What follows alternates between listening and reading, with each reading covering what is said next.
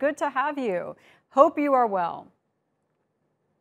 Very curious to get your take on this. How big a deal is the taking out of the current Daesh leader?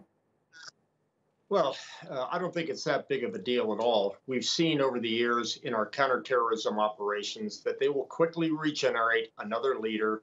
Uh, and candidly, the next leader may be stronger than Qureshi. So I think the president made the right uh, call in terms of muting his reaction to this. And uh, as the Israelis would say, we've just got to keep mowing the grass. This does not destroy this organization. We just need to keep pressure on it, as we do on other organizations of its kind around the world.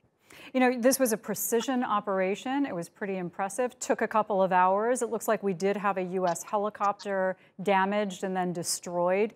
Um, this was by any means a success. How much planning, given the nature of this, would you say went into this? Was this last minute opportunity or is this something that they have been tracking for two years? Well, you can imagine that our Joint Special Operations Forces have been training for this mission continuously, whether it was here or elsewhere or against another target. That's just what the best Special Operations Forces in the world do.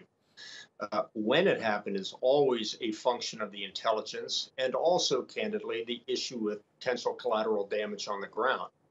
Uh, I think the collateral damage issue is what drove this to be a ground operation rather than a drone operation. But having said all that, you're right. This is a well planned, long trained operation, uh, and it seemed to have been a good success, but the, there will be more. Let's talk about Daesh in this area. And let, okay, let's look at Syria as a whole.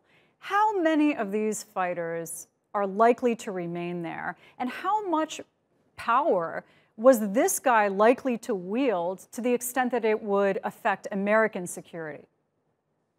Well, one of the things we've been able to do with our counterterrorism operation is fight terrorism forward. We're not going to wait for them to come at us. Uh, so we figured the best way to do this is to keep continuous pressure.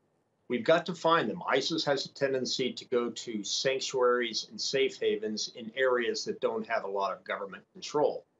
I would expect, as long as we have a civil war inside of Syria where there's not government control over these areas in Syria, uh, that they will continue to harbor these types of terrorist organizations.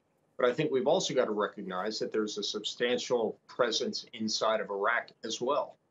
You know, in terms of fighting terrorism, the U.S. obviously has success in these missions that they do, often very quietly. But when it comes to some big ones that have been very public, you know, the pullout of Afghanistan, the targeting of a family that they thought was uh, a fighter carrying explosives was not. Uh, the recent exposure of this operation within the Department of Defense called Talon Anvil that had much, much higher civilian casualties uh, than they were willing to admit for many years. Um, the credibility level worldwide isn't exactly at the highest. Does an operation like this, that arguably makes the world a safer place, as the White House stated, does this help?